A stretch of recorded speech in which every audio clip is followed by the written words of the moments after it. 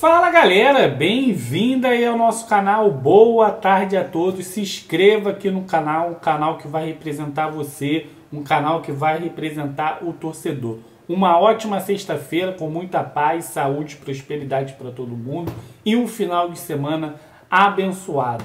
Olha, Marcelo está de saída do Real Madrid, será que é sonhar muito alto, torcedor do Fluminense, ele vindo para o tricolor? Será que é pensar muito alto? Será que o Marcelo tem vaga no futebol europeu? Será que ele ainda quer esse desejo? Ainda tem esse desejo? Ele que ganhou tudo no futebol europeu. Será que não é a hora de ele voltar para casa? Será que não é a hora de ele voltar para o futebol brasileiro? Até jogar como 10, como é o sonho dele, voltar e ser meio campo? Não sei, acho que a gente deveria pensar muito nisso. Ele que está de saída do Real Madrid, o Zidane tentou segurar ele algumas temporadas, mas o nível dele, Marcelo de ser, caiu muito. E o torcedor do Fluminense adora ele, claro que é, o salário ele teria que abaixar, né? A gente sabe quanto ganha o Marcelo hoje no futebol europeu, mas seria que ser, seria um sonho muito alto? Ele que é revelado pelo Fluminense, saiu muito cedo para o Real Madrid, fez a carreira no Real Madrid, conquistou tudo no Real Madrid, foi eleito várias vezes o melhor jogador do mundo na sua posição, foi para a Copa do Mundo, não foi tão bem, né? Mas quem foi na, nessas últimas Copas do Mundo? Ninguém, né? Então, tipo assim, não foi só culpa dele. Até olhar aqui rapidinho para dar uma confirmada a idade dele, né? A idade do Marcelo, para ver quantos anos ele tem. A gente sabe que o Thiago Silva tá voando 32 anos.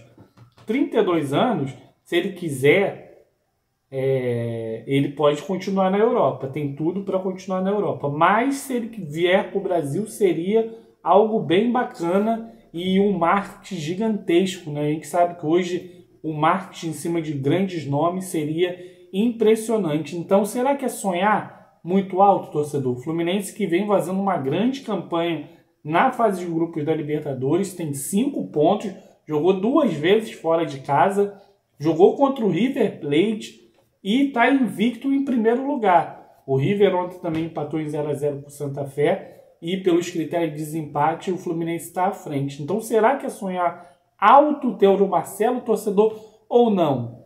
Deixe aí nos comentários, é super importante a sua participação aqui no canal de futebol, que a gente traz tudo sobre futebol brasileiro, tudo para deixar vocês bem informados de tudo que acontece no futebol brasileiro. Então deixe aí seus comentários, deixe aí seu, seus likes e o que vocês acham do retorno do Marcelo para o Fluminense. Aceitariam?